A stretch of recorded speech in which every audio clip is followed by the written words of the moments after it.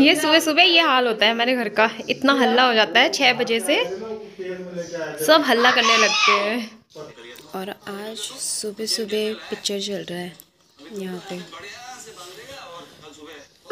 चाय पी रहे हैं और साथ में मूवी देख रहे हैं। छुट्टी छुट्टी का मज़ा लिया जा रहा है। Hey everyone welcome to my vlog that is mom walk through और थैंक यू वेरी मच आप मुझे सपोर्ट कर रहे हैं। धीरे धीरे सब्सक्राइबर्स बढ़ रहे हैं और उससे बहुत ही ज़्यादा ज़्यादा पॉजिटिव एनर्जी मिलती है, जिससे कि मोटिवेशन मिलता है कि मैं और आगे बनाऊँ। आगे बढ़ते हैं अपने इस नए ब्लॉग में। तो मैंने यहाँ पे दो शिमला मिर्च के प्लांट लगाए थे। तो देखा तो कितनी सारी शिमला मिर्च हो रही है यहाँ पे।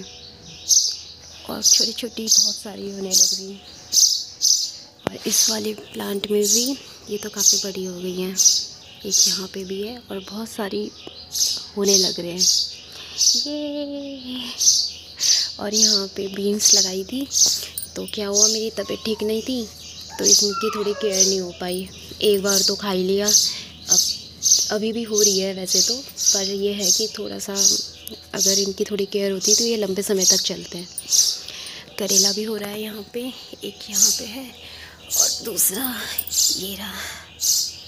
और मेरे हाथों से जो कोकम्बर है वो कभी भी नहीं होता है। ये तो ख़राब ही हो गया, पता नहीं क्या हो गया, सूख गया। और जो दूसरा वाला है, ये भी जा रहा है बस। और लौकी का पौध भी हो रहा है। ये बड़ा ऊपर तक चढ़ गया है, लेकिन भगवान जाने, पता नहीं कब इसमें लौकी आएगी और कब मैं खाऊँगी।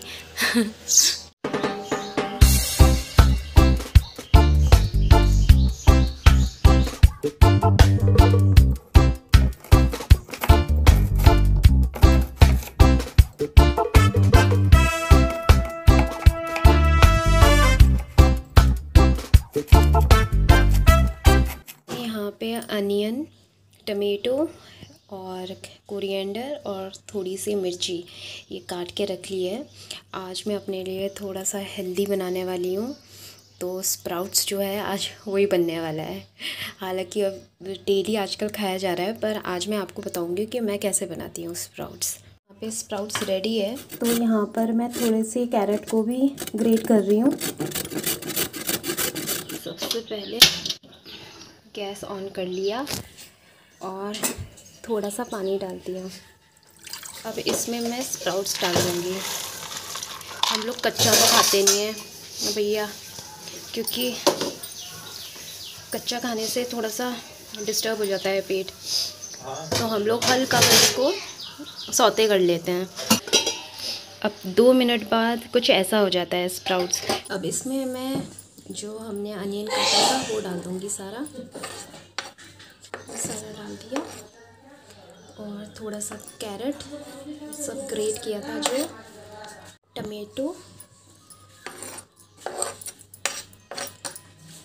ये ग्रीन चिली और सारा कोरिएंडर ये सब डाल दिया।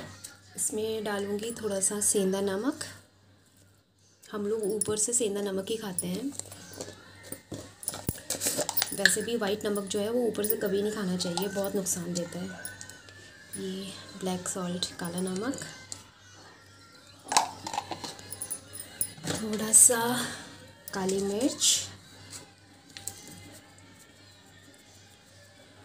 काली मिर्च तो हर डिश को बहुत बढ़िया बना देती है और ये डाइजेशन के लिए भी बहुत अच्छा होता है, जो कि अभी मुझे नहीं हो रहा है, मुझे बहुत दिक्कत हो रही है डाइजेशन में।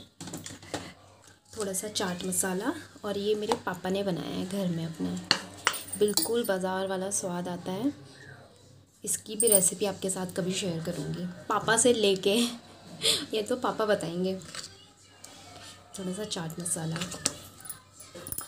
तो आप इसमें इमली भी डाल सकते हैं, इमली का पानी और क्या कहते हैं उसको, हरी चटनी जो होती है वो भी डाल सकते हैं, पर मैंने नहीं डाला है। क्योंकि हरी चटनी जो है अभी हमने बनाया नहीं है और थोड़ा जो मिर्च वगैरह है वो भी मुझे थोड़ा सा मना किया गया है।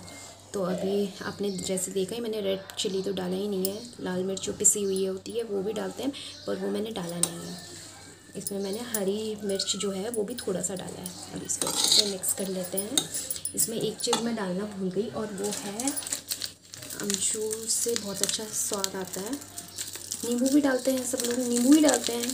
पर मुझे अमचूर अच्छा लगता है। तो थोड़ा सा अच्छे से इतना ज़्यादा भी नहीं डालना कि बहुत ही ज़्यादा खट्टा हो जाए। तो मैंने थोड़ा सा अमचूर डाल दिया इसमें। इसको लेती हूँ अच्छे से मिक्स। मैं कुछ भूल तो नहीं रही हूँ। और एक और चीज़ मैं डालना चाहती हूँ इसमें, खीरा। तो थोड़ा सा इसमें मैं खीरा भी डाल देती हूँ। ये खीरा भी काट लेती हूँ थोड़ा सा। मुझे तो खीरा बहुत पसंद है, हर चीज़ में। इवन पोहा जो है, पोहा में भी मुझे खीरा बहुत अच्छा लगता है तो मैं भर भर के डालती हूँ। सर्दियों में तो इतना अच्छा नहीं लगता, पता भी नहीं चलता है, लेकिन गर्मियों में अगर आप पोहा बनाओ और खीरा डाल के खाओ तो बहुत रिफ्रेक्शन फील होता है। उसमें आप ये भी डाल सकते हैं, क्या कहते हैं मिंट लीव्स जो होता है, आप वो भी डाल दो, बहुत ही मज़ा आता है। इसको डाल देंगे अब। ये थोड़ा मेरा। ये भी सारा इसमें गया। और इसको कर लेती हूँ अच्छे से मिक्स। कितना टेम्पटिंग लग रहा है। है ना? हम्म। आ गए आप भी? आप भी स्प्राउट्स खाना चाहोगे? हाँ थोड़ा सा। ठीक है आउट्स बनाते बनाते किचन में भसड़ मच गई है। और ये मेरा स्टैंड था आज का। क्योंकि मम्मी के यहाँ पे हूँ तो यहाँ मेरे पास स्टैंड नहीं था तो मैंने यहीं पे फंसा के अपना रेसिपी बनाई थी।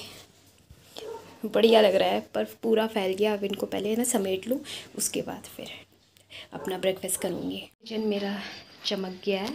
अब मैं लेके आती हूँ अपने लिए एक प्लेट मुझे क्रॉकरीज़ का बहुत शौक़ है और मेरे पास बहुत सारी क्रॉकरीज़ हैं। तो मम्मी के यहाँ पे भी काफ़ी सारी है तो उन्होंने कुछ तो रख दिया है और कुछ यहाँ अलमारी में रखी हुई है। यहाँ से एक प्लेट मैं निकाल लेती हूँ अपने लिए। तो मेरा ब्रेकफास्ट रेडी है। दिखाती हूँ कैसा लग रहा है। ये है आज मेरा breakfast sprouts with lots of vegetables और साथ में एक बनाना और जूस अभी पीऊँगी थोड़ी देर में तो ब्रेकफास्ट के साथ थोड़ा सा मैं गैप कर लेती हूँ जूस के लिए।